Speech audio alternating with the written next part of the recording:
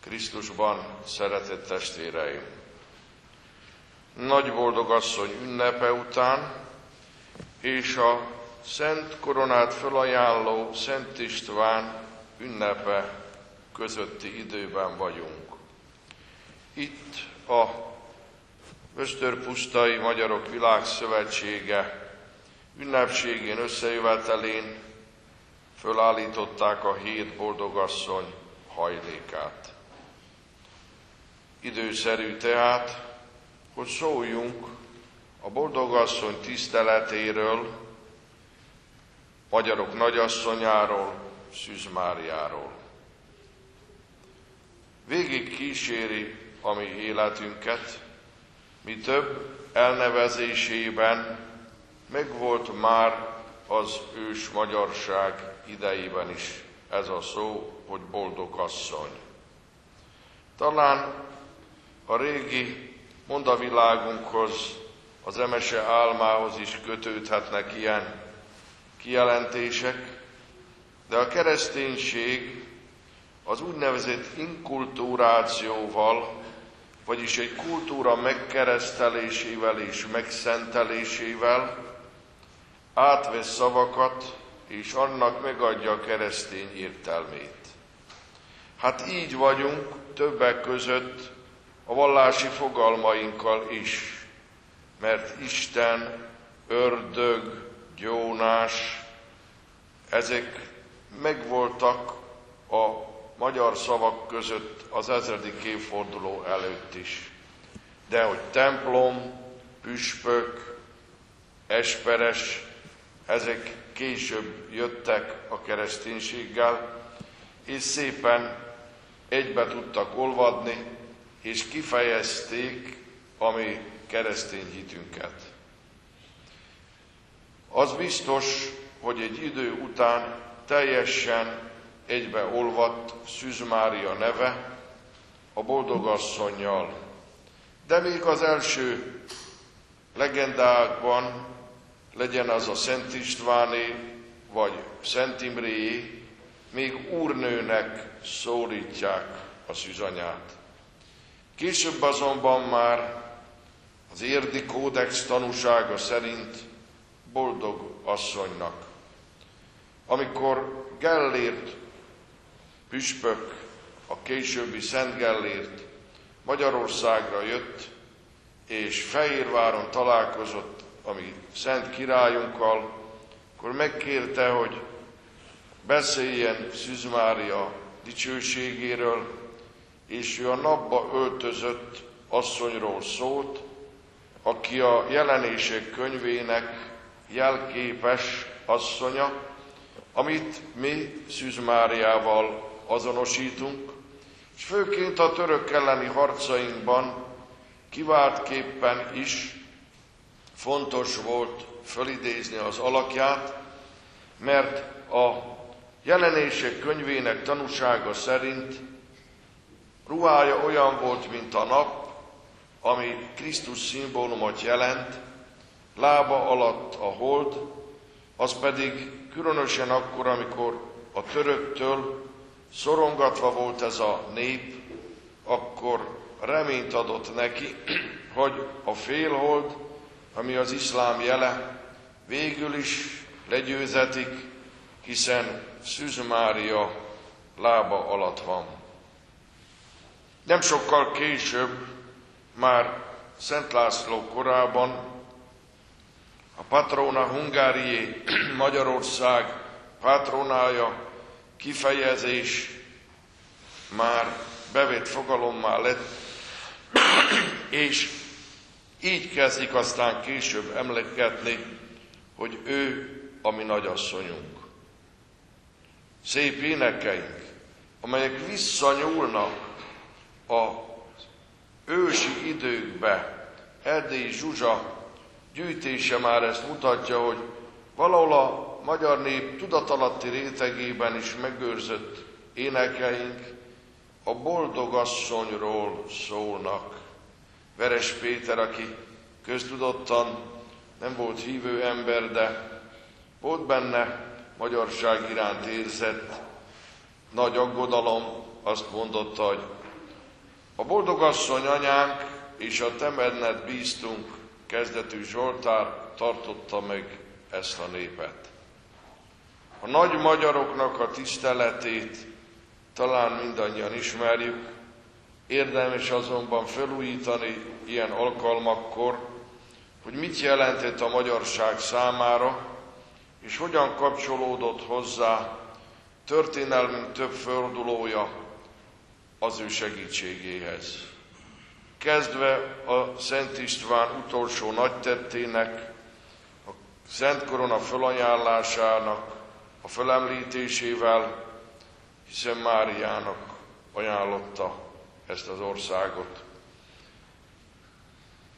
Szinte egészen újkori fölfedezés, hogy Szent István pénzein már rajta volt Szűz Máriának az alakja. Már az is nagy dolog, hogy akkoriban Szent István pénzt veretett, de rajta volt Szűz Mária alakja. Szent László püspök pedig hát, mint a Szűz Mária lovagja, különös tisztelettel viseltetett égi anyánk iránt. Az által alapított püspökségek Nagyváradon, Zágrában, Szűz Mária pártfogása alá helyezték azt az egyházmegyét.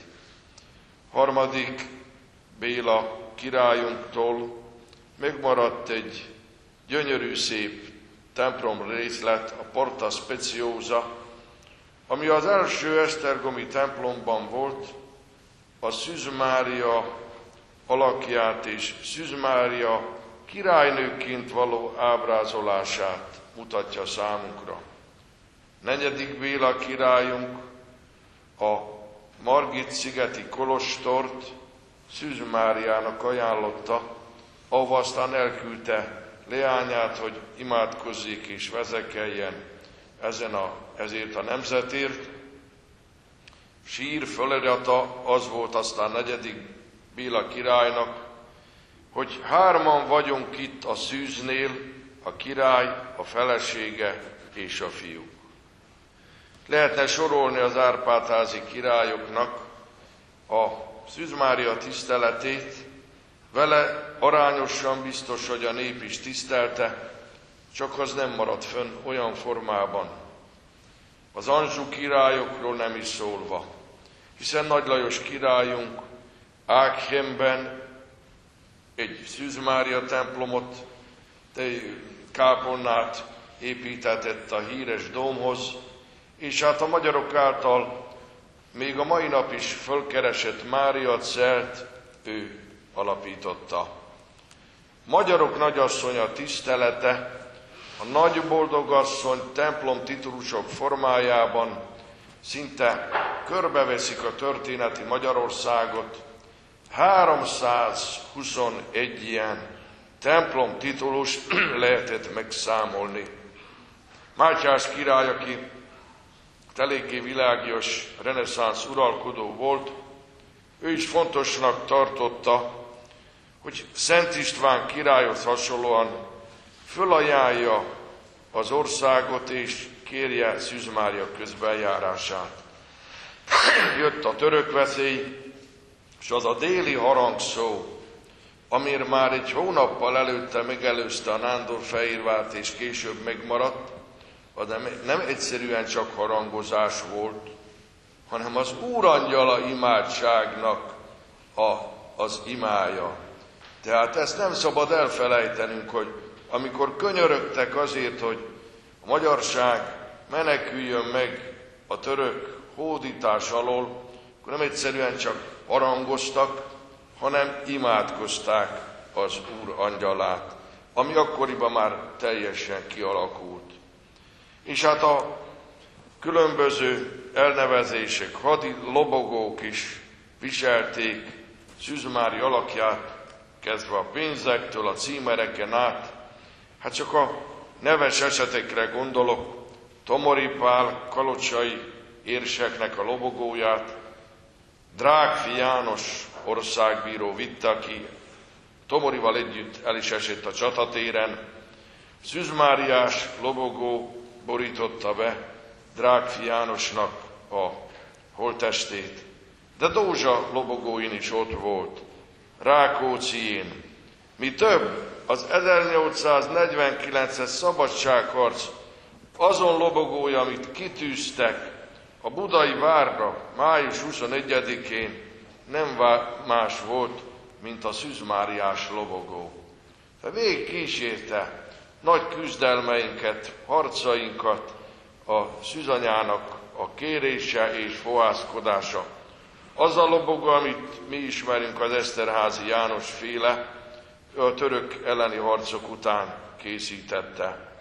És hát imádságok, társulatok, búcsújárások, azok mind-mind jelezték Szűz tiszteletét. A pénzeinken még az erdélyi fejedelmek is megjelentették Szűz alakját. Gondoljunk arra, hogy a horti korszakban a vezető emberek Hortival, Betlen Istvánnal az élen reformátusok voltak, de a pengőn ott volt Szűz az alakja. És hát így volt a későbbi nagyjaink életében is.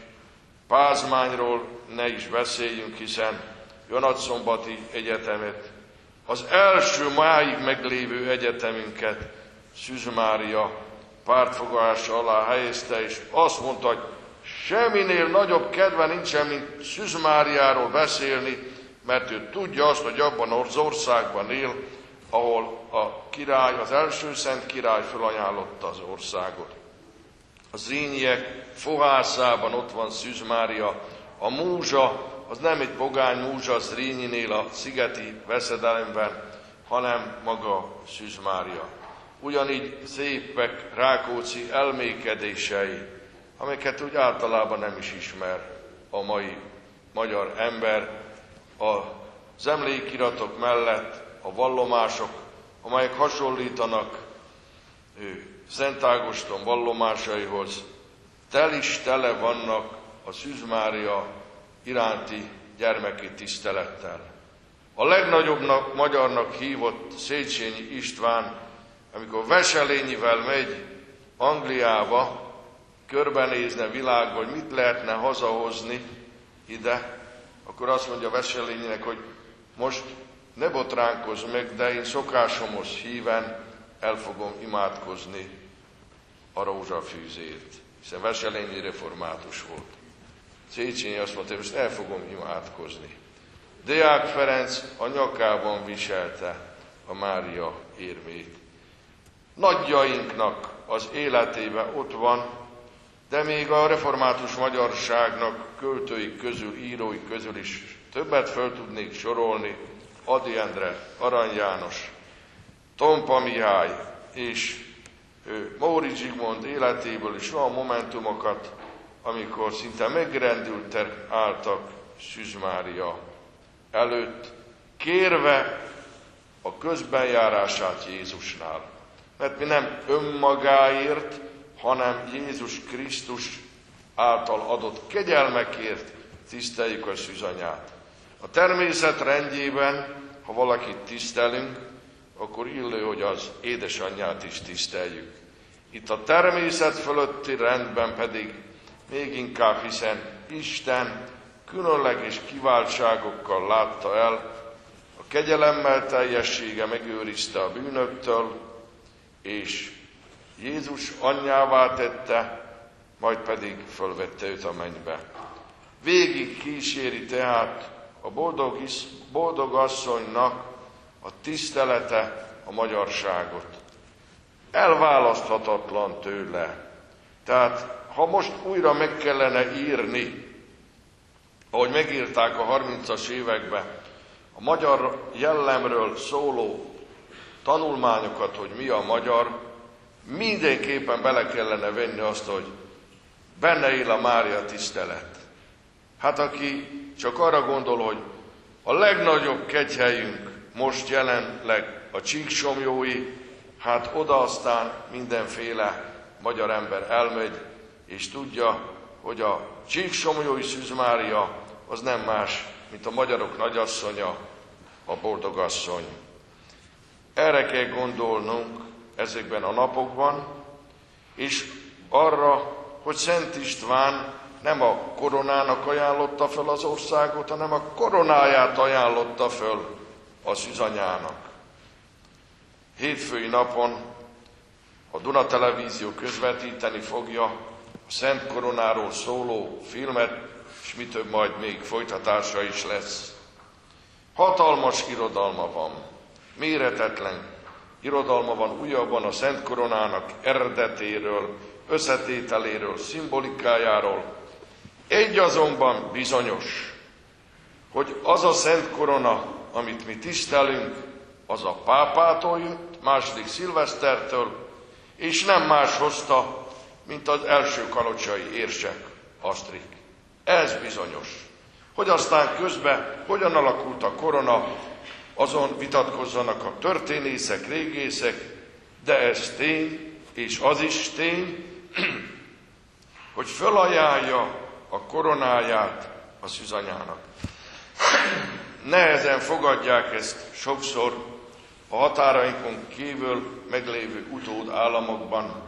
Deákiban jártam az idén, ott, ahol a halotti beszédet lelték meg egy pár száz évvel ezelőtt, száz, kétszáz évvel ezelőtt, hát ott megfestették egy szép kápolnában azt a jelenetet, hogy a Szent István felajánlja koronáját Szűz Máriának. De a hatalom azt kívánt, hogy ez ne legyen ott, mert ez emlékeztet a magyar impériumra, le kellett takarni azt a koronát, és a korona helyett egy imádkozó kezet kellett festeni.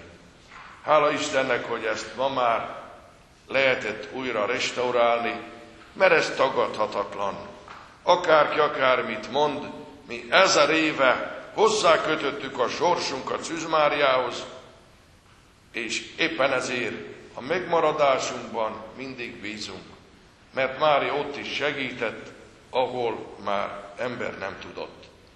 Így akarunk mi Szűzmáriát tisztelni, így akarjuk köszönteni őt, nagy boldogasszonyt, magyarok Máriáját, hogy vezessen bennünket Jézushoz, és mindig figyelmeztessen arra, amit annak idején a kánai menyegző szolgáinak mondott, tegyétek azt, amit Jézus mond. Amen.